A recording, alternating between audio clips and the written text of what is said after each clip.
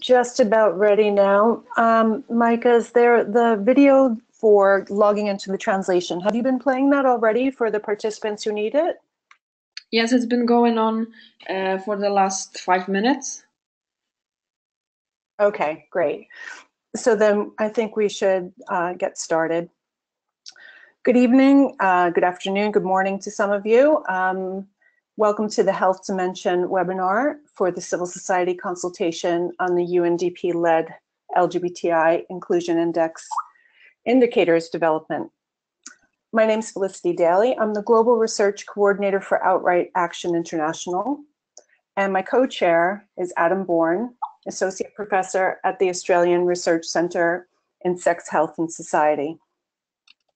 This session is being simultaneously translated into French and Spanish. So I'd like to ask everyone to speak slower than you would normally. So about 20% slower so that the translators can keep up. If you're receiving translation and have any technical difficulties, please let us know in the chat box.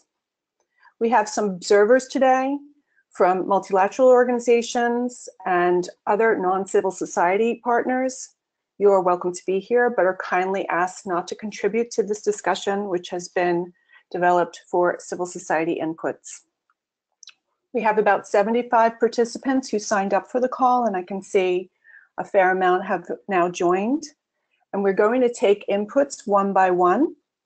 If you would like to speak once we get through the introductory part in the next few minutes, please write your name and speak in the chat box. I know some people have called in under, joined in on their other people's accounts. So please put your own name and the word speak in the chat box and we will create a speakers list from that and invite people to speak one by one. So overall, we just don't want people talking over other participants or the chair so we can keep a good flow of conversation but orderly. We'd like you to make your interventions concise um, and your comments focused on the criteria. Um, we'd really rather you do that um, than give us some sort of anecdotal feedback um, or anything around a national context. We know that from the health dimension, LGBTI people experience exclusion every day. And I think many of us are very aware of those contexts. Today's conversation is about the draft indicators that have been developed and shared with you. So we hope everyone understands and accepts this is the frame of our discussion.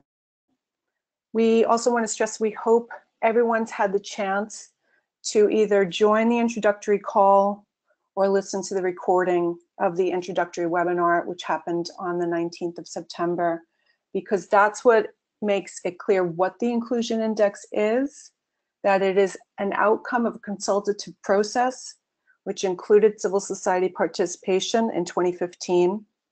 And it also details how this civil society consultation fits into the consultation now around indicator development. If you remain unclear about any of that background, unfortunately, we will not have the time to get into a discussion about that on this webinar. So if you do have something that you want to note, please either put it in the chat box and we will address it later um, or you can write back to the indicators at RFSL email with comments. Um, so if you have listened to that uh, recording, you know this webinar is part of a series being conducted during this week and a broader consultation process being led by UNDP and the World Bank. We want to mention that throughout the consultation process, difficult choices will need to be made about the number of indicators that can be operationalized for each dimension and for the index overall at this initial stage of the index's development. So having said all that, I'd like us to just briefly review the list of draft indicators which have been proposed for measuring the health dimension. So Micah, if you will please bring up the first slide on a slide set that goes through uh, the six indicators that have been proposed for this section. Thank you very much. Um, so, technical checkup. Can you see this on screen? Because uh, there was a problem with the video earlier. So I just want to make sure that everybody can see what is on the screen. Yes. And other people are saying yes. Okay, great. Thank you, everyone. So as we can see, I'll just briefly go through these. This is uh, the background reading that you provided in advance of this call. And for the health um, dimension, there have been a number of indicators that have been proposed. And the first set of indicators have to do with an aspect of inclusion around access to SOGIESC sensitive healthcare with two indicators. One, the first one being patient non-discrimination protections with an indicator that sets the presence of non-discrimination policies by providers that specifically include, include SOGIESC um, and measure prevention of or denial, preventing the denial of care. The second there is medical record protections and the protection of medical records. I won't go into all the comments and justifications, but across both these indicators, uh, it's been proposed that they can measure every uh, population in the LGBTI community. The next slide goes into um, two more indicators. I want to click on that one, thank you. The aspect of depathologization of LGBTI people the uh, indicator being no diagnosis, and the depathologization of variations in sex characteristics, sexual orientation, and gender identity and expression in medical guidelines, protocols, and classifications, with an example of the WHO's International Classification of Diseases. The second on this page is access to treatment, the name of the indicator being source of care, and the indicator being the percentage of persons who have a specific source of ongoing care. Again, both of these being able, we think, to be measured across all LGBT and I populations. And lastly, the next slide. We uh, wanted to look at a specific health concern and have looked at HIV AIDS, uh, looking at HIV incidence and prevalence, and the indicator being uh, prevalence and incidence of HIV infections. Again, that's proposed to be collected across all of the subpopulations. And finally, the other indicator that's been proposed for the health dimension is health status and self-rated health which would measure in general, uh, would a patient or a person say your health is excellent, very good, fair, poor. This is a WHO standard variation. How is your health in general? With a response scale being very good, good, fair, bad, or very bad. So you've had that to look at over the weekend. Um, thank you, Micah. We're going to just close that slide for now. Um, what we want to do now is begin a discussion of the indicators, and I'd like to ask my co-chair, Dr. Adam Bourne, for their initial reactions and how they've been framed. So, Adam, will you please share your impressions of how you think these would work in practice and any um, amendments that you would propose for them? Thank you very much, Felicity, and um, a very good morning from here in Melbourne, Australia. Um, as Felicity said, my task was to provide some initial responses to these indicators to help set the scene for a broader discussion. Now, two things I think to draw your attention to in the um, introductory briefing notes are about the meaning of inclusion as it's operationalized here in the access or in outcomes. So in access to health or in the achievement of positive health outcomes. I think it's important that everyone bears that in mind. And also that we have a goal to um, to do subgroup analysis of lesbian, gay, bisexual, transgender, and intersex as separate groups um, wherever possible. So hold those two things constant. Now, as the authors of the indicators say very clearly, human life is multifaceted. So you cannot capture anything as broad as health in just a few indicators. This is always going to be imperfect. And I very much acknowledge that right from the outset. It's about um, finding the right balance between things that are feasible and achievable and speak to those health issues that we are most concerned by. So any critique I offer now is you know, kind of should be seen in, in, in that light. Um, so firstly, in the first indicator, access to SOGS sensitive healthcare and the presence of non-discriminatory policies. This is a statement of inclusion intent. This is saying that the, the providers of healthcare are seeking to be more inclusive in their practice by the presence of such policies. And this could be searchable via uh, online by a review of a document analysis or via surveys of providers themselves, so feels quite achievable. The challenge is that it doesn't get at the actual experience of discrimination, which may be the most significant barrier to access and uptake of services in the first place. So having a policy of non-discrimination doesn't translate to um, an absence of discriminatory practice. So we just have to acknowledge that uh, as its primary limitation. In the protection of medical records, I'm guessing the desire here, this is born of a desire to see medical records um, to not see medical records of what are often criminalized populations passed to the police or to media or to other hostile agencies, which we can all definitely acknowledge is a concern in many countries.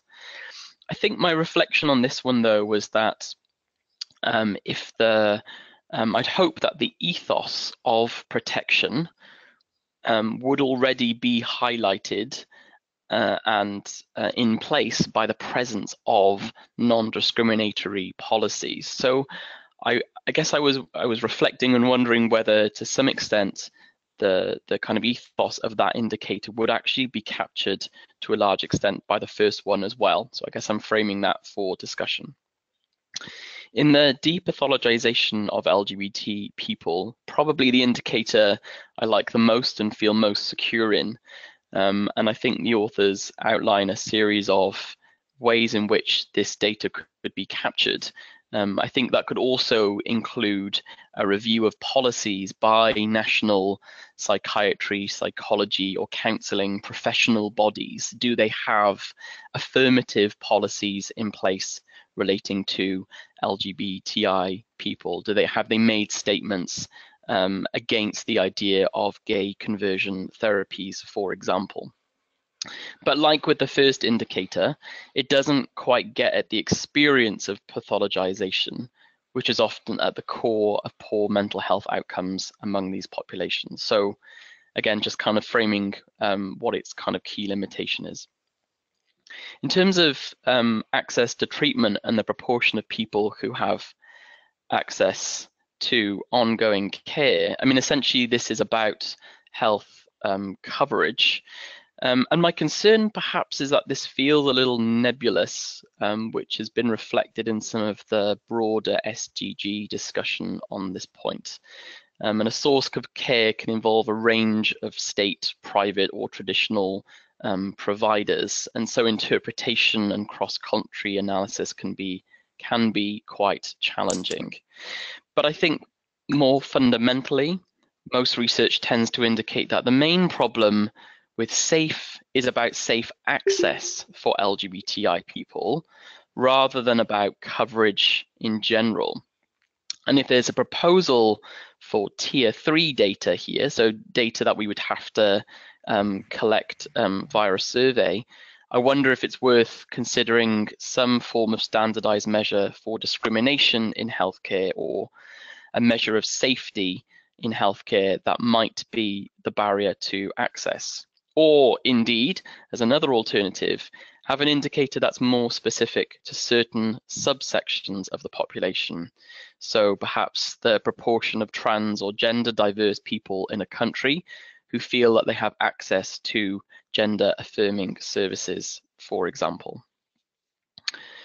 In relation to the fifth indicator, prevalence or incidence of HIV infection, I mean, its its major strength is that it acknowledges the massively disproportionate burden of HIV among gay and bisexual men and among transgender people. And I think it's very important to make the call once again for better disaggregation of data to help document that disparity better, but also, importantly, to capture uh, incidents among lesbian and intersex people, which many people have called for for a really, really long time, but what we've actually made remarkably little progress. I think my concern, perhaps, is that currently this is the only solid condition-related health outcome for health for LGBTI in the list of indicators, and it's very tilted towards gay and bisexual men and to transgender. And we've spent a really, really long time trying to assuage the idea that the only health issue of importance to LGBTI is HIV. And I think I'd be worried if this was the only tangible health outcome um, that we are left with. And so I think it's worth considering whether there are opportunities to have another indicator that relates to broader sexual and reproductive health, um, to things like uh, access or provision of appropriate sex education? Or is this an area where we should have a specific intersex related indicator relating to non-discriminatory and consensual reproductive health services? And just finally, on self-reported health status. Now, I think the key strength here is in the simplicity of this indicator and how it's been, it's a standardized scale and used in lots of cross-country analysis. It is still rather Northern Hemisphere weighted, um, and it's used far less commonly in lower middle income countries. Um, and so there could be some concern about the currency this would have with policymakers in other countries if we're trying to use this data as a, as a kind of rallying point for better provision of services to LGBTI. So I guess again, and linked to my previous comment, is it possible to have another um, possibly more tangible health outcome instead? So, or as well as. Um, so a measure of problematic alcohol use, which we know is from lots of surveys is significantly higher among lesbian and bisexual women, or coverage of harm reduction services that address stimulant use, um, which we know are um, is significantly higher among gay and bisexual men, but often isn't catered for in harm in traditional harm reduction services, or indeed mental health. And some of the most concerning data we have among all LGBTI people relates to high levels of anxiety or depression. And these aren't necessarily always easy things to capture, but there are a range of survey tools that we could use. And so I think it's just useful to think about whether that's something we could capture, have an indicator relating to either mental health outcomes or mental health uh, access. That's my kind of two pence worth for the moment. Um, as I said, these are all framed in terms of um, the the limit, you know, the the inherent limitations of indicators, um, and it's about acknowledging what we can, what we're willing to live with, but uh, and and what might be um, refined in the future. Thank you, Adam. Um, Micah, will you please bring up the second slide set now, which looks at the set of criteria that we've asked everyone to use when they start um, interrogating and reacting to the indicators. Great, thank you. I'm not going to read these out at the moment. I've started to build the speakers list and I will continue to take names in order. We have so far about eight people who've indicated they wanted to speak and that's building. So the first person on the list who's um, indicated that they want to make an intervention is Genede. Um, yes.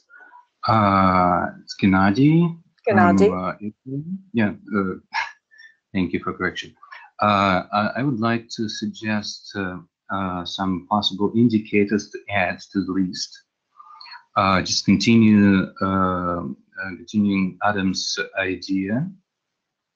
And uh, uh, the uh, first indicator would be access to funding for community organizations under national HIV, STI, sexual, and mental health strategies.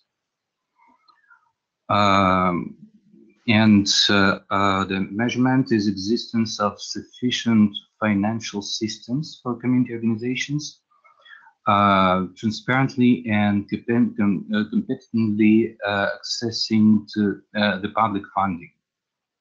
And uh, uh, the, the, the second uh, is existing of coordinating bodies, structures for making LGBT community representatives engaged in health policy making. Thank you. Thank you. The second speaker on the list is Morgan Carpenter. Um, hello, thank you. Um, thanks for the uh, introduction and the explanations to, to both of you, Felicity and Adam. Um, it's good to see how the indicators are developing um, over the last couple of years. So I have a few comments, um, and uh, I'm going to focus on the, the issues for um, people born with intersex variations. Um, and to start off with, I think uh, it's important to recognize that there is a split uh, when it comes to issues related to intersex experiences of the health system between health and the session on violence. Uh, and that's really important um, because the, the, uh, the, the indicators to do with violence will focus, appear to be focusing I hope they will continue to do so after the session later this week uh, on uh, issues to do with non-consensual, uh, forced and coercive interventions. Um, and here, the indicators to do with health provide an opportunity to um, to examine other issues around access to healthcare, which have rarely been examined from an intersex perspective. Um, and I think this brings me on to another point I want to make, which is that I, I would not, in in any way or shape or form, consider intersex to be a subpopulation of LGBTI. Uh, what we have here, I think, uh, are multiple intersecting, distinct and different populations. Uh, and that has implications for not just the indicators themselves, but also about how um, populations are um, how distribution channels to try and access information on different populations work and function. Because so many intersex people are neither uh, same-sex attracted nor transgender um, and trying to uh, engage that population in um, research processes is particularly challenging when it is framed within an LGBTI framework. So th these are not subgroups to my mind, but they are distinct populations. Um, and there needs to be care to look at distribution channels that are appropriate for each population, and also then the disaggregation of the data that comes out of this. Now, um, a few other issues. Um, I agree with Adam that, that inclusion policies um, are problematic because the implementation is often challenging. Um, and particularly within an Australian context, I can see a huge distinction between the rhetoric of inclusion, particularly with, within policies and frameworks that are framed around LGBTI, uh, and the reality on the ground, which is still, um, you know, still the existence of forced and coercive practices, but also um, policy frameworks around inclusion that assume something else that, that Adam mentioned about depathologization when Adam mentioned psychology and psychiatry uh, as the, um, the sources of pathologization.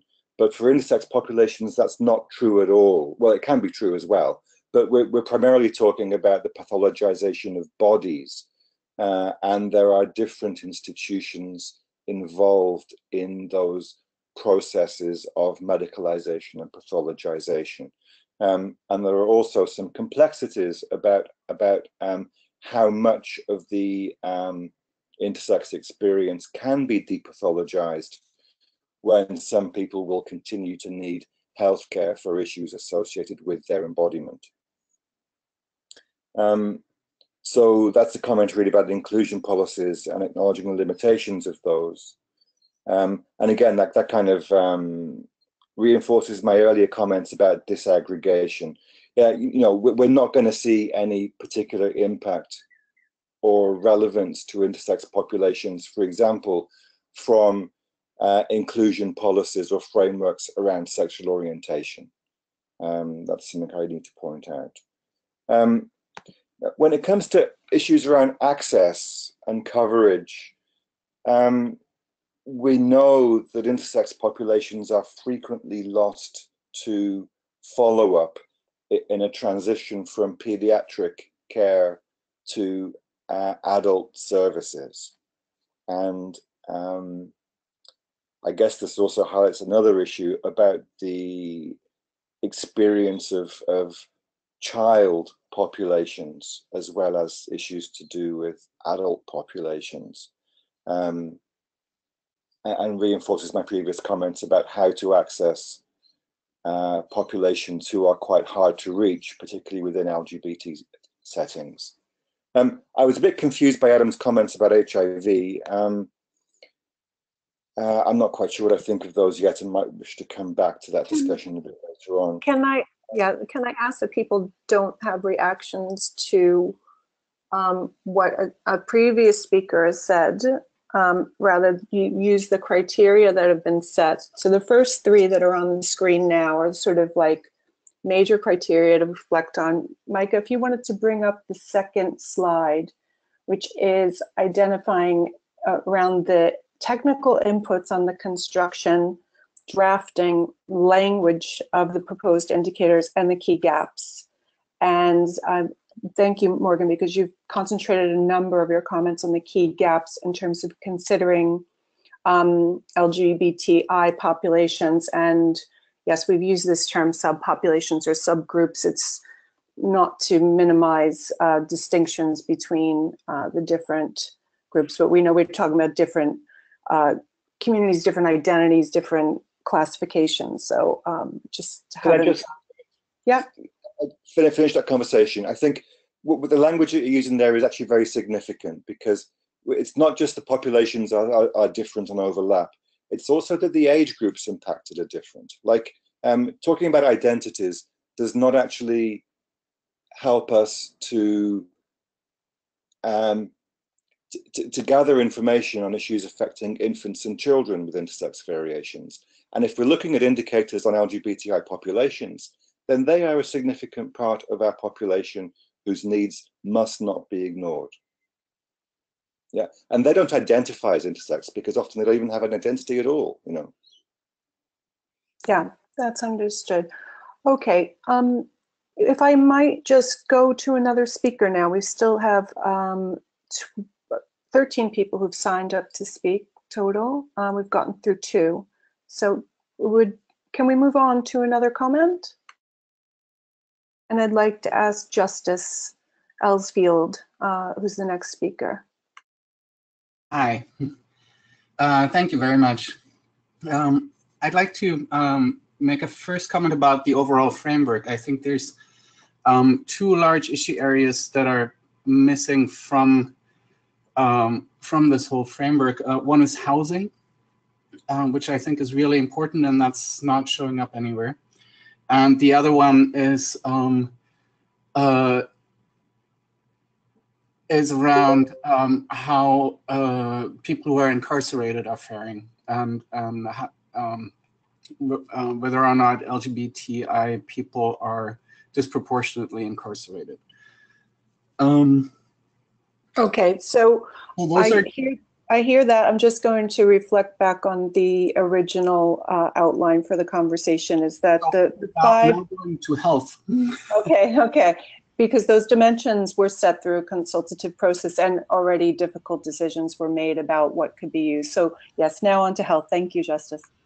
Um, I, I think um, my comments are quite detailed, actually. Um, for HIV, I think it's crucial that we um, disaggregate um, data on uh, trans women, trans men, and people of other genders, um, because that's often not done, and that um, leaves the uh, leaves trans men and don't identify as trans women within the trans community out of uh, any data collection.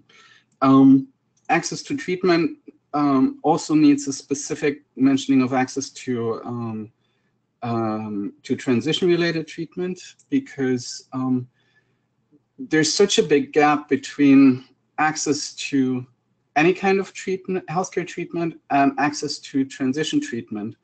Um, that if we do not disaggregate that data, we um, we are missing we're, we're missing a lot um, and too much in my um, in my eyes. And then um, with regards to medical records, I think it's really important to uh, to not just look at the absence um, of medical rec records, but also or or the um, the uh, safekeeping of medical records, but also looking at whether or not medical records actually identify LGBTI people in a useful and um, uh, way that that um, takes privacy into consideration.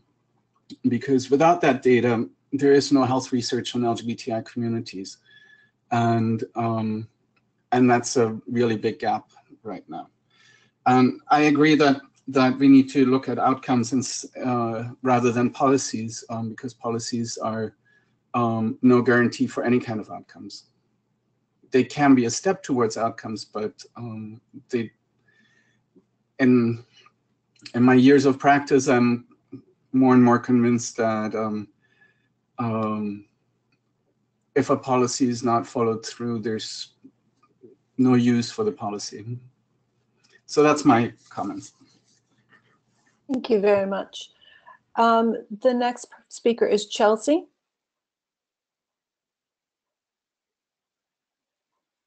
Chelsea Ricker? Okay. Yeah, your Yeah. voice is quite loud. Go ahead. Okay.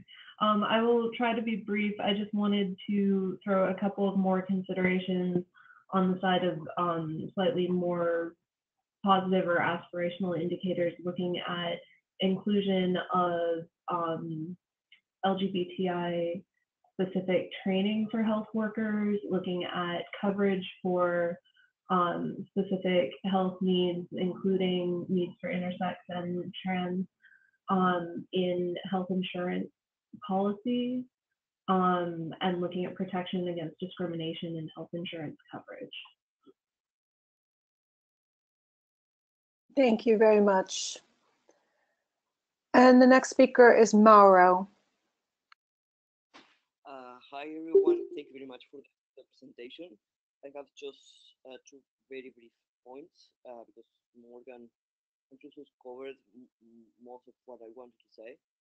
Uh, first, I think that when it comes to be about the depathologization, there is an important link missing there, which is uh, pathologization being a legal requirement to access to other rights, like the access to legal recognition and the access to transitional healthcare. And both of them has a huge uh, impact in general healthcare. So it's not only about people being uh, pathologized by psychology and psychiatrists or by policies at the, you know, in, in general, in these professional associations at the national level, but about the connection between diagnosis and legal regulations for, for human rights. That's uh, one of one of the issues. The the other is I share with Morgan the same question about HIV, especially if we consider that a cross-cutting issue, uh, because I don't I don't see how uh, HIV has the same relevance for intersex people than from L- LGBT pe- people, according to the to the uh, statistics that we that we have and I would really like you know to, to propose like a, the possibility of consider a, another indicator which is like human rights violations in medical settings and the, the consequences at the level of health as as a, another cross-cutting issue. In in this case, touching all the populations at stake. Thank you. Thank you. And the next speaker is Jose.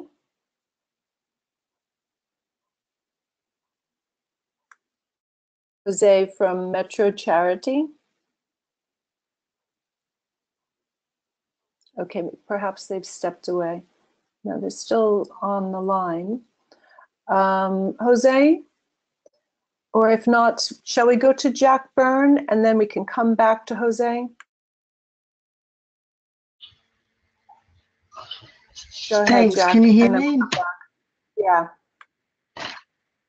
Okay, so I was just going to speak to a couple of there. One was um, depathologization and the comments that were were mentioned. Originally, it was very unclear to me. Um, so I share the concerns that everyone's raised, including Adam, about exactly what would be measured there. Um, and the notes that Odd made were similar to to to, to Mauro's that pathologization has a huge impact on you know legal gender recognition and protection under the law. So how would that be measured? And are we talking about the absence of diagnoses that um, or are we talking specifically about mental health diagnoses? So is it de-psychopathologization we're, me- we're, we're measuring? Um, yeah so it's so I, so and I don't think the one about what what policies um, psychiatrists or um, psychologists have is sufficient. Maybe it need um, yeah. So I, th- I think it needs it needs some rethinking about that one. Agree with also the one about access to um, health services, and I think it was Adam was the first person who mentioned it. That it, it maybe it needs to be narrowed down, and if we're looking you know, access to gender affirming healthcare, I think, is a really important one to to look at. And I know that we've just done a, a UNDP was involved in it, a, um, a regional trans health meeting um, that was held in Bangkok across 14, 15 countries in Asia. And we did a mapping report for that, and we came up with you know something that we could actually measure across all of those countries so you know there is some beginning thinking about that and I liked the, the suggestion around human rights violations in medical settings. And you know, even if it had to start off with a, with one that we, you know, we've got enough UN um, experts speaking out about forced or coerced sterilisation. You know, we could maybe start with that. So that's all from me. Thank you, Jack. Okay, Jose, do you want to take yourself off mute? Very good, thank you. You go ahead now. Uh, perfect, thanks. I guess my few comments is the first one around mental health. Uh, and is it like, as Adam was mentioning, mental health and the importance of including mental health, would this be one specific indicator in the list, or is it something that will be across all the other indicators and how mental health is being affected by all the other already mentioned or, or, or, or identified indicators? Uh, and then I guess the other one is really my other comment will be related to what are the aspects uh, that affect uh, these health outcomes uh, in the case of HIV and of mental health and of any other health outcome that that that it's included is what are the aspects that that are or might affect this this situation as it could be things related to, as someone was mentioning, housing or a um, migration journey or, or or things like this, and how how would that be related or how would that be seen in these different uh, indic in these different health outcomes or in the indicators that include health outcome, and and in the case of HIV, I guess the more than the incidence or prevalence for me is about what what could be or, or what are other issues in in in HIV as as an indicator, things like uh, co-infection and and other health other poor health outcomes that might happen after or or within HIV as a as a main criteria. Thank you. Thank you. I think there was a question there about whether mental health is uh, sort of inherent to all the indicators that are proposed here. And my sense is that it it's not, um, and that they're mainly focused on um, physical health. And so I think people should keep that in mind for their comments um, if they feel strongly that there needs to be a greater perspective brought in or a separate mental health oriented indicator set. Uh, the next speaker on the list is Quirine Lengeek. Hi, this is Quirine Lengeek from YWCA Netherlands. Uh, I have a comment on the indicator patient non-discrimination protection. Um, as Adam Bourne already highlighted, the experience of discrimination cannot be measured by this indicator.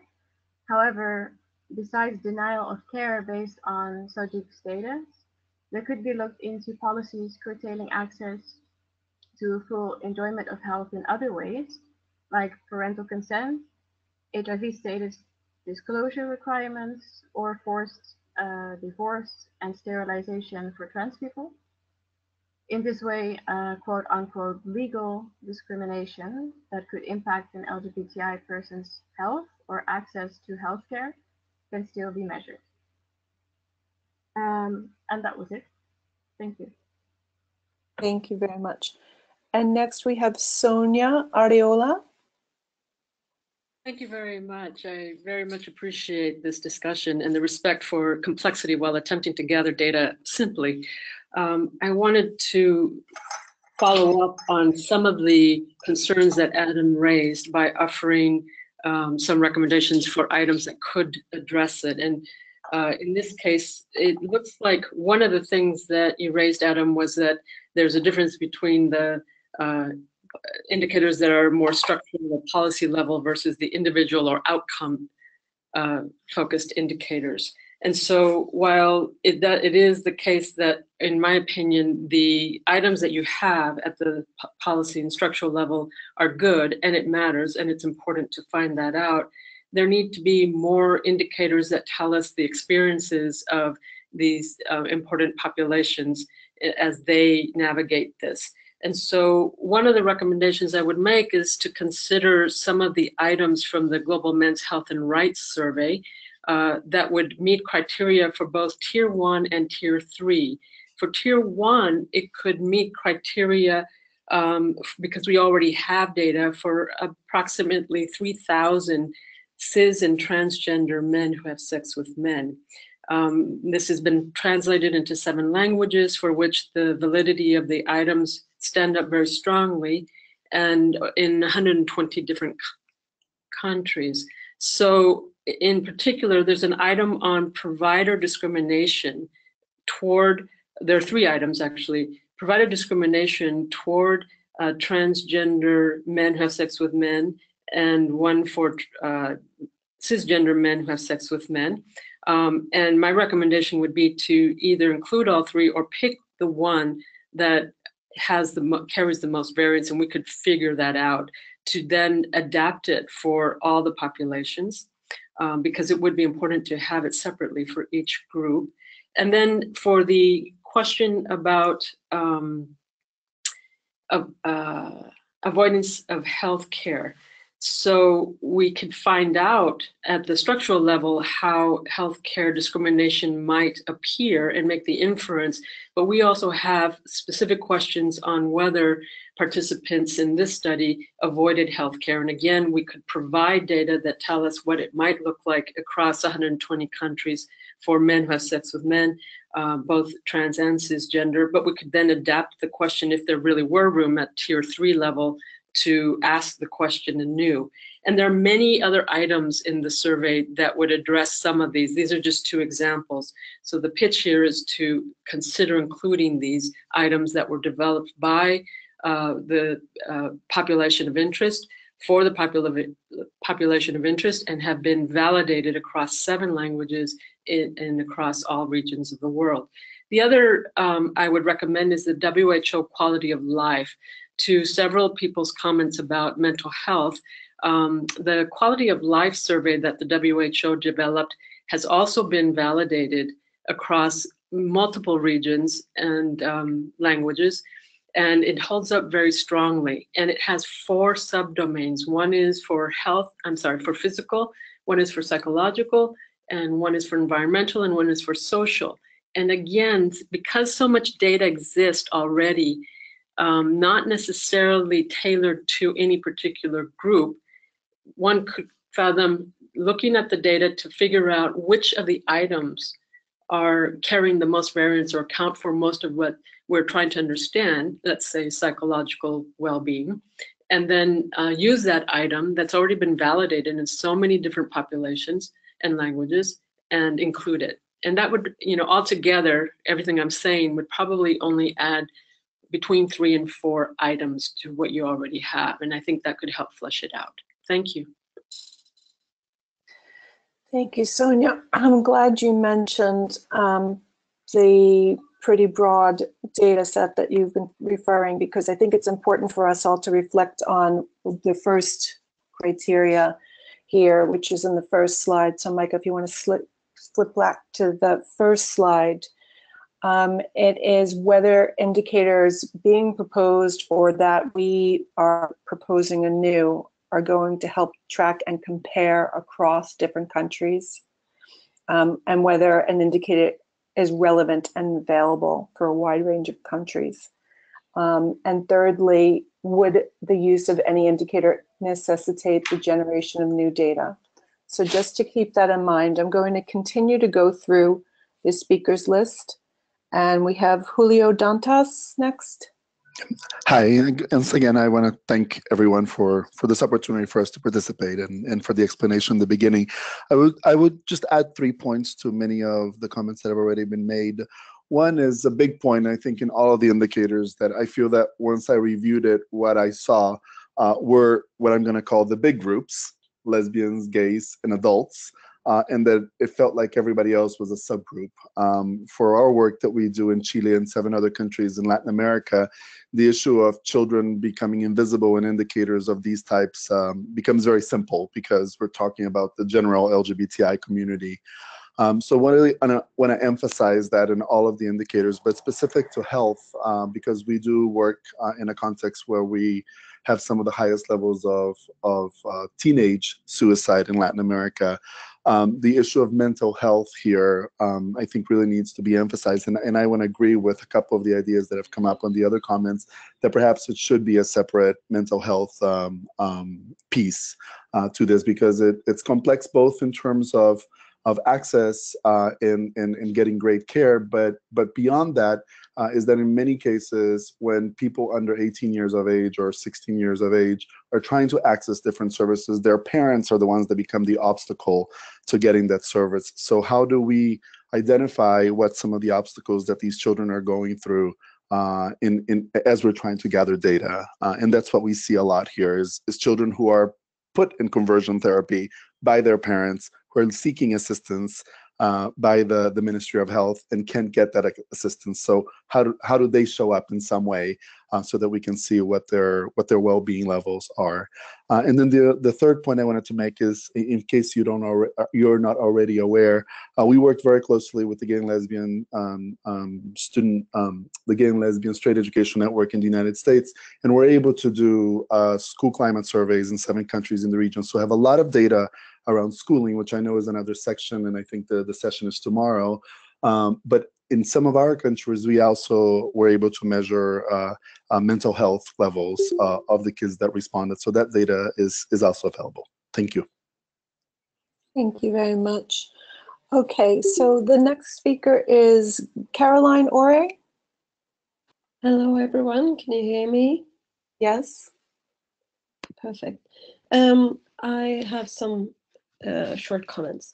Um, I was thinking about the access to SOGIESC sensitive healthcare uh, to if we're proposing a set of indicators where we have to um, survey populations, I think we could also maybe put in one indicator there uh, so where we survey um, people's um, what do you say the um, discriminatory, like their uh, discriminatory treatment in healthcare settings in the last 12 months or something like if people have experienced that or not.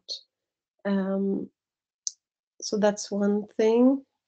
I also agree that there's a gap uh, about mental health and either one can measure if one does this uh, surveying of populations, um, one can measure suicide ideation and attempts in the last 12 months.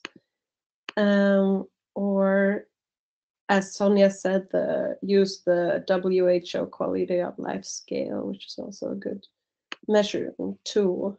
Um, I was thinking about an indicator on HIV, uh, since most countries already um, report on their the 1990 target, and I think that since trans people and MSM are uh, very affected by HIV, the 1990 goal is really important uh, for these populations. So if one if we, we want to measure like how well uh, countries um, deal with HIV, they already measured this um, for the UNAIDS reporting. Um, what else? Yeah, as Justice and some other people have said, I think uh, it, to measure access to treatment, it's super, super important to access to measure access or to gender affirming healthcare. Um, in the different countries. Yeah, I think that's more or less my comments. Thank you, Caroline. Okay, we have Emily to speak next. Yeah, hi there, everyone. Um, so I just I want to start with uh, the, the, access to treatment or access to, or safe access treatment as it was framed at, at one point, and think about this in, in, in an experiential way, um, and think about, for example, the kinds of experiences that, um, as a, a, a, lesbian trans woman, I might I might get if I went into a health clinic and was was asking for uh, for, for, services that had nothing to do with um, with my sexual orientation or gender identity and, and expression. And a lot of people experience um, situations where um, they're asked about all kinds of things that have no relevance to the, the medical condition which, with, with which they present.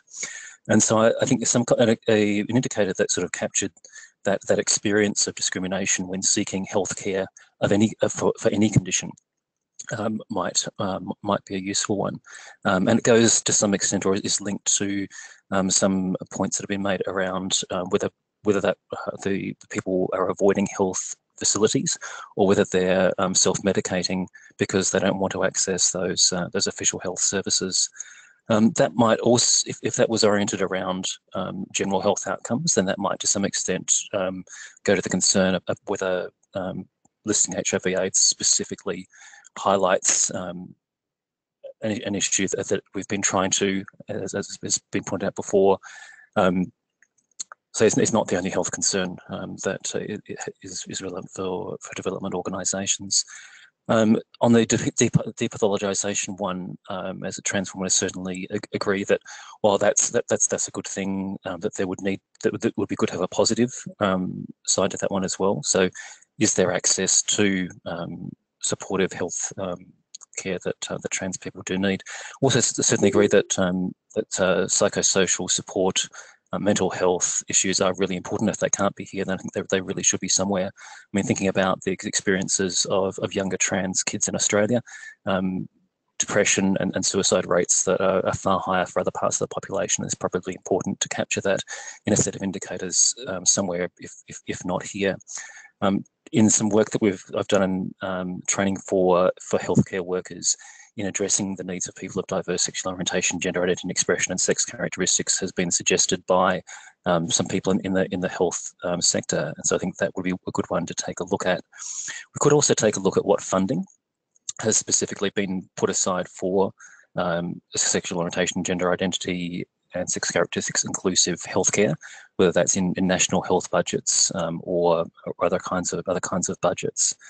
Um, I think one question I had was whether it, it's whether it's possible to have a, some kind of meta indicator that looks at the extent to which the health indicators within the existing SDGs are SOGIESC inclusive. That might be difficult, um, but it maybe there could be an indicator about the, ex the extent to which SOGIESC inclusive data is being captured around all of those other indicators. I guess as part of that effort to read ourselves back into into the SDGs.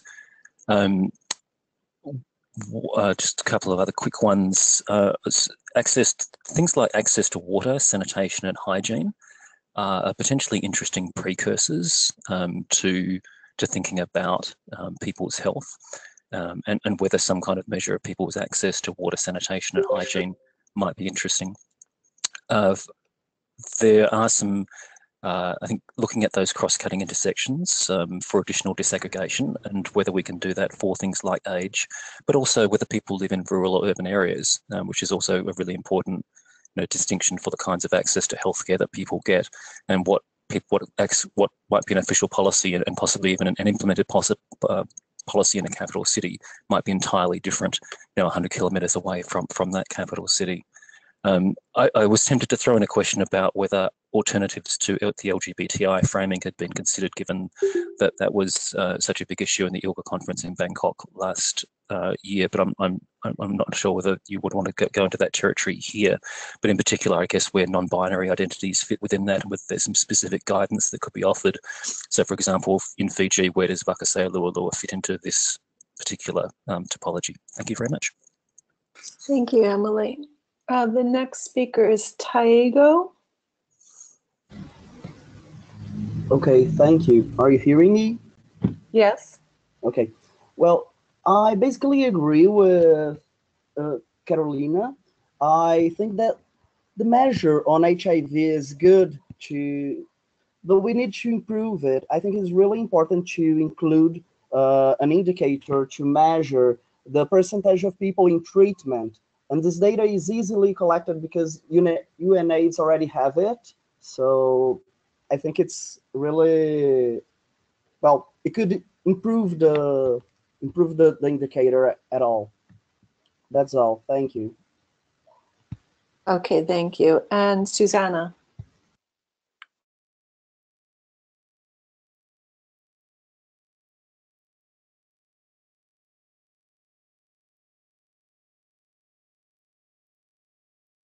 Susanna, you're not on a phone line, not a, um, a web link, it looks like. Are you muted?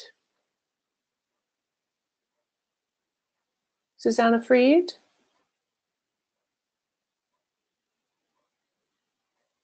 Okay, we can come back to her. Um, I thought, since that's most of our speaker list until we see anyone else um, indicate that they'd like to speak, I thought we could give um, Adam a chance to kind of come back round to a number of the points made. I wanted to say, firstly, that Emily's point about sensitizing the indicators for the health SDGs, that there are three people on this call, myself, Adam, and Stephen Leonelli from MSMGF, who have co-authored a paper that looks at not all of the targets of SDG 3 on health and well-being, but many of them. And uh, we have uh, suggested SOGIESC sensitivity uh, changes to uh, those indicators. And uh, we hope that that's a useful resource uh, for this exercise, but as they are many of those indicators and in this exercise, we are probably coming up with a list of under 10 indicators across the health dimension. There's again difficult choices to be made. So I wanted to note that and then give Adam the floor to come back. Thank you very much, Felicity. It was really interesting listening to all of those responses to the indicators and the discussion. Um, there was obviously a whole load of things that um, fell out of that conversation. I was trying to keep track of some of the the common threads. Um, I think certainly one was around pathologization and the indicator specifically speaking to the depathologization of LGBTI people. Um, and it seems like there's some work to do in um, refining or honing uh, what that might mean and how it might be operationalized. Um, and I certainly entirely agree with the point that that Morgan made that this isn't um, simply a, a, psychiatry or a psychology issue, but that it's around the pathologization of bodies. And I and I certainly wasn't seeking to to kind of minimize that. I mean, it's something we should be, you know, accept, you know, very attentive to. Um, uh, and I and I think the point that I think it was Emily was making there towards the end around broadly about access to supportive and affirmative healthcare um, around whether there's a way of framing an indicator which was much more specific about people's belief that they could access such affirmative healthcare um, should they uh, should they feel they need it. Um, the second kind of key reflection seemed to be around discrimination in healthcare settings, and a lot of people kind of um, reinforcing the the notion that just the presence of the policy isn't may not be sufficient um, because we know that in many instances where there are protective policies there's still a great deal of discrimination that occurs. Um, so we need to think carefully about what we would be happy with as an indicator to capture um, something around discrimination in healthcare settings. Um, if we speak very broadly about human rights violations um, that's quite challenging to operationalize within um, a survey, which is what would be required. We'd need to think of something very concise or discrete. Um, and so we'd have to think, would we be happy with a measure which is just generally around have you experienced discrimination on the basis of your sexual orientation uh, um, or gender uh, characteristics or expression? Or would we want something more specific as well, perhaps, um, which is about um, experience of forced or coerced um, sterilization. I don't have an answer to this. I'm just I'm just kind of framing things that are perhaps key questions that we might want to examine um, moving forwards. Um, and, and I think the third really was around mental health, and it, it does seem that there's a fair degree of support for uh, a measure of mental health. Um, several people ask kind of how this might occur or or proposed suggestions for it. There are um, a big, big range of mental health measures, and as uh, Sonia um, pointed out, there are some that the WHO already utilize and endorse. And I think for for clarity and simplicity, we should perhaps examine those first and kind of establish whether those uh, meet the needs of examining mental health among these populations. Um, but it does seem like that's definitely uh, an area that we should be reflecting on. Um, and finally, I actually liked, I'm sorry, I didn't capture who said it, but the suggestion for an indicator in, H, in relation to HIV, which is about treatment. Um, and it, it, actually struck me that that's a much better signifier of accessibility of a service or a, a, a, program or an intervention, which is one of the things we're trying to get at here is access and outcomes. If you look at HIV treatment, that's a much better indicator of access um, than just incidence is. So I guess just to kind of reinforce that point, I thought was quite a good one. And thank you, Adam. Okay, we've got another speaker who uh, was unable to uh, make themselves known before. Soren, would you like to intervene now? Thank you. Yes. Um, there's one area I think uh, we have not touched much upon, which is the access to uh, medically assisted uh, reproduction. And um, there's quite a number of dimensions uh, in that. Uh, that could, for instance, be uh, do a, a, transitioning person have access to deposit gametes? Um, we have a lot of, of structural discrimination there because uh, the definition, the local definition of a family may influence uh, what uh, health services you get access to. And that can come in, in, in very specific flavors, which we, for instance, see in, in uh, the European Union, um, because the uh, possibility for an HIV positive man to become a father is actually um, um, uh, not possible uh, uh, because of EU, European legislation, um, because of the definition, what is a couple? if, if it is a, a, a, gay man and a woman they are not a couple, they are not a family, and therefore they cannot get access uh, to that reproductive health. I think there's a number of very important uh, measures uh, or dimensions that would uh, fill into um, to that access um, uh, measure. Uh, thank you. Okay, thank you.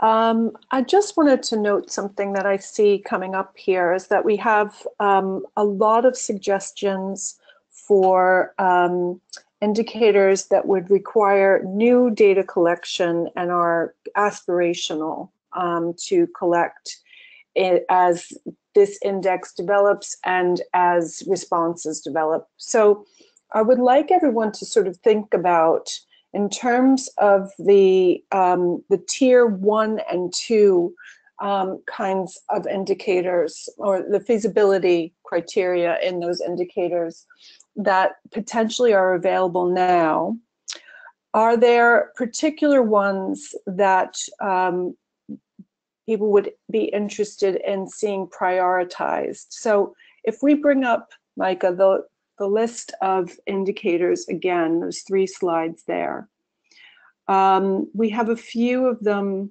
that have been marked as feasibility tier uh, two, and they're on probably the first or the second slide. Yeah. So let me just see the second slide as well. Okay, great. So we've got, um, let's start here then. We've got depath the, the, all the issues around depathologization, and that is seen to be now a feasibility tier two.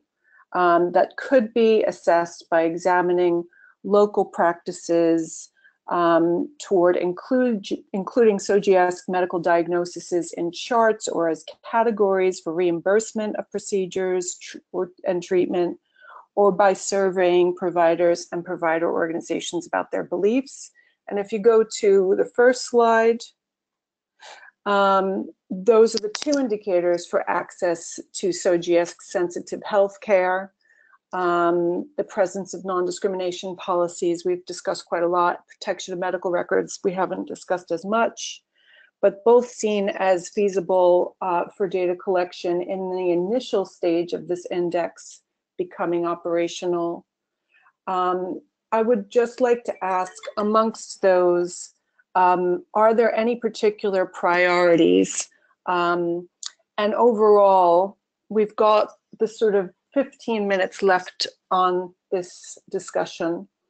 And what we had hoped to have um, coming to a close of this is some sense of convergence. Again, knowing that we will not have an exhaustive list of indicators at this initial stage of the index. So again, if people want to speak, I, great. I see one person has put their hand up, so to speak, um, to make an intervention. I will invite uh, people in turn again. Okay, so firstly, we have Morgan who wants to uh, intervene. Thank you, Morgan. Go ahead. Um, thanks, Felicity. Um, yeah, thanks for the discussion. Um, I think one of the key issues that I struggle with is, is that to obtain pretty much, well, to, to, to obtain information on intersex populations, it will require new research for um, I think for all of these indicators, there is no current analysis, even at the international level, about what kinds of protections uh, intersex people might have in law in different countries, for example. Uh, I mean, we tend to assume that means there are no protections. Um, so um, that, that's kind of a fundamental issue, uh, um, which will require some grappling with. That's probably all I want to say right now. Thank you. Thank you. And Mauro.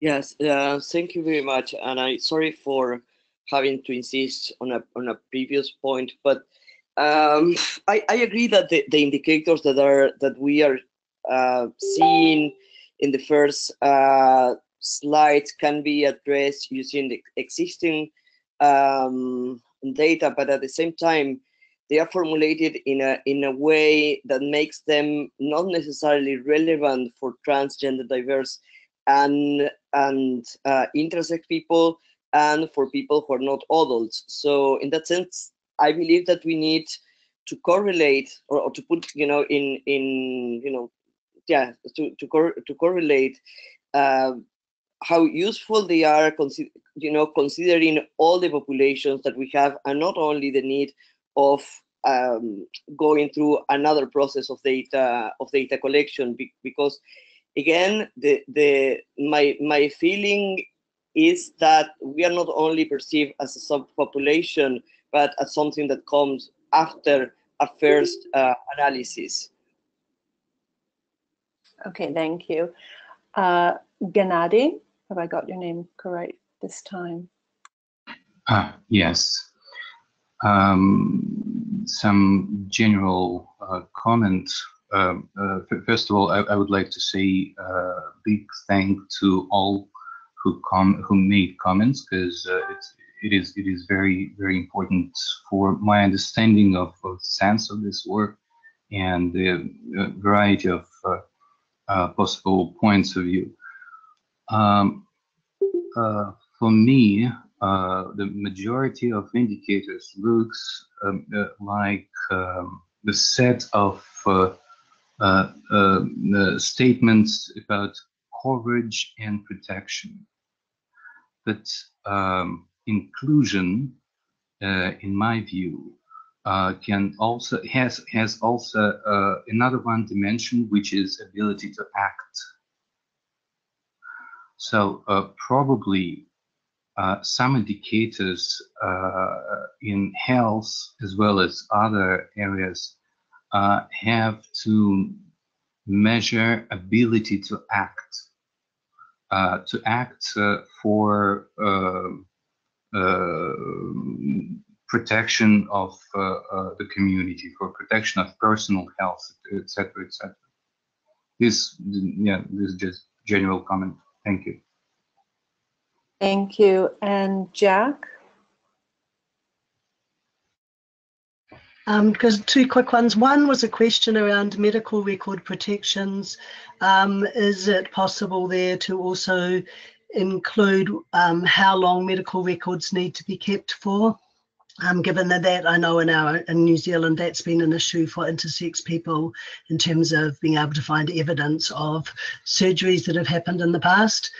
Um, and I think someone was it Emily mentioned, you know, maybe it's I don't know how useful it is, but I totally agree with the points made that at the moment we're trying to work with, if we're trying to look at what's already there, there are such huge gaps, um, particularly around um, intersex people and trans and gender diverse people. So is it worth collecting data about whether or not national health surveys um, disaggregate by the various populations we're talking about, or is that just measuring what we already know, which is the basis of you know, why we're having the, inc the inclusion index in the first place. Yes, that's a good point. Um, well, there have all been good points. Um, thank you, everyone. Can can we spend a bit of time? We've got just under 10 minutes left. I'd really like um, for people, particularly if you haven't intervened um, and you have a strong sense of priorities amongst um, the discussions we have already had where we've identified a few emerging areas that we would like to see added to uh, this potential list of six, changes to the list of six. We'd really like to get a sense of, of the priority um, that, that people collectively agree. So um, you can make those comments in the chat box if you don't want to speak, or we can um, take another round of, of interventions. They need to be quite brief at this point because we've got only uh, nine minutes left.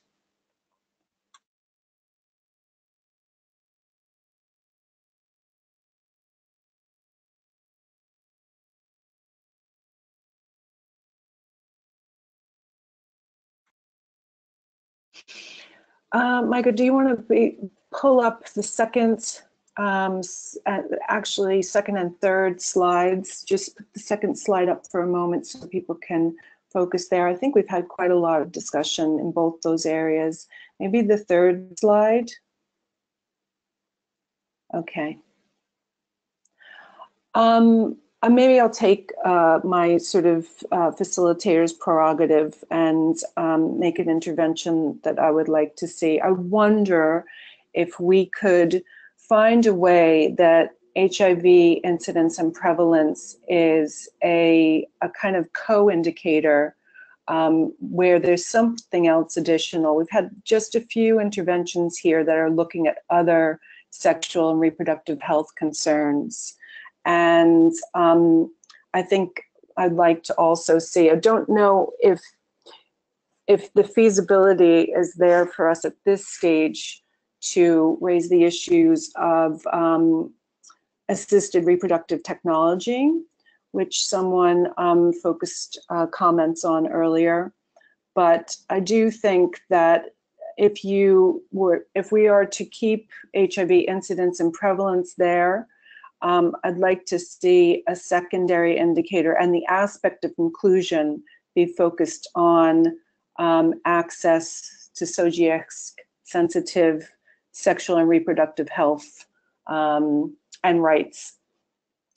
And therefore, you would encompass broader sexual and reproductive health um, issues and um, both the, the, broader aspect of sexual rights, but particularly uh, reproductive rights um, that are violated for um, different um, populations uh, for various uh, reasons. And I think we could potentially find some interesting indicators there.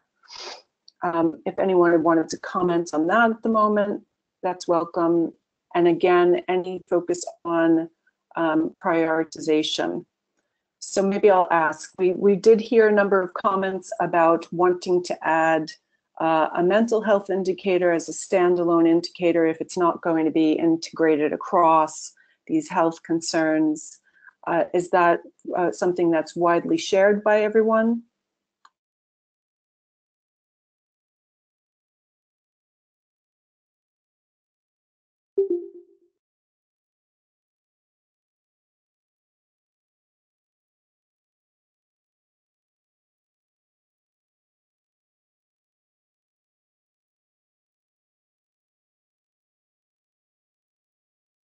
Okay, great. So we're seeing a collective um, agreement that there should be um, a mental health indicator. Okay, that's great.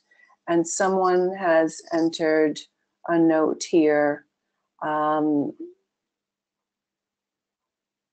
yes, um, a note about additional reproductive health concerns Yes, I was going to make that one of my examples to the comment I've made about forced and coerced sterilization, which basically limits uh, the reproductive rights of um, both trans and intersex people, but potentially um, anyone else who's had a forced or coerced sterilization, um, who's lesbian, gay, or bi. So that that's helpful. And Carolina wants to make a comment now. Thank you, Carolina. Hi. Just a short comment about reproductive uh, rights. Um, I think it's very hard to like capture this in one specific uh, question or indicator since there are so many different aspects of how LGBTI people's like reproductive uh, abilities are um, violated um, depending on who you are and like how you're you're born like intersex people have totally different like experiences than for example same-sex uh, a lesbian couple. Um, so i think i think it's has to be really thought through in a good way to capture the diversity of, of reproductive uh, rights. It's hard, hard task. Good luck. Yes. Thank you. Yeah. No, thanks for noting that. I think that's why I was struggling to come up with um, some good examples as I was making those interventions because it is uh, it's a widely varied set of experiences. Um, okay, so I'm not seeing anyone else putting their hand up, so to speak, at this point. So I think we're really coming to the close here. Um, if there's any last comments, um, if Adam, you wanted to make any last intervention? Only to say briefly, Felicity, to reinforce a point you made about wherever possible, we should be seeking to collect tier one and tier two data. Um, I am a an empirical researcher most of the time, so I always think new data is needed. But in order to make these achievable and feasible as a first stage, and we acknowledge this is a first stage of indicators, we do have to think um, carefully about which ones we can acknowledge are imperfect proxy indicators um, in the first instance. Thank you, Adam. Okay, so I see um, a question about next step um, and Deep Health and, and Jack's comment. Yes, okay, Jack, that's that's noted. In terms of next steps, we did cover that on the uh, introductory webinar. So this week, uh, the next steps are to go through all of the other dimension webinars. An outcome document is going to be written uh, from these series of webinars. That's going to be submitted to the consultants who have framed the draft indicators and that outcome document will be fed into a um, another consultation uh, that's being run by UNDP and the World Bank with a set of data experts, both from within the multilateral system and other um, stakeholders who work day in and day out with data collection. Morgan Carpenter has asked who are the consultants. As you could see from the background document that was circulated, Lee Badgett, Professor Lee Badgett, and Randy Sell, uh, two academics who've worked extensively on SOGIESC issues and setting indicators, uh, were hired by UNDP and have shared uh, their initial findings. So the outcome document will be um, taken by them, fed into the next stage, and then a, a set of um, stakeholders who focus on data collection will be working with them and uh, the final process will be convened um, by UNDP and the World Bank by the end of the year. Again, if you want further information on that, please write to indicators at rfsl.se or uh, download uh, the introductory webinar and uh, go to the beginning. It's covered, it's covered well in the first sort of 20 minutes of that call. So in closing, I want to thank everyone for engaging in this process. Thank you to Adam, my co-chair. Uh, thank you to the interpretation team and thank you to Micah for being the, the tech support for all of this.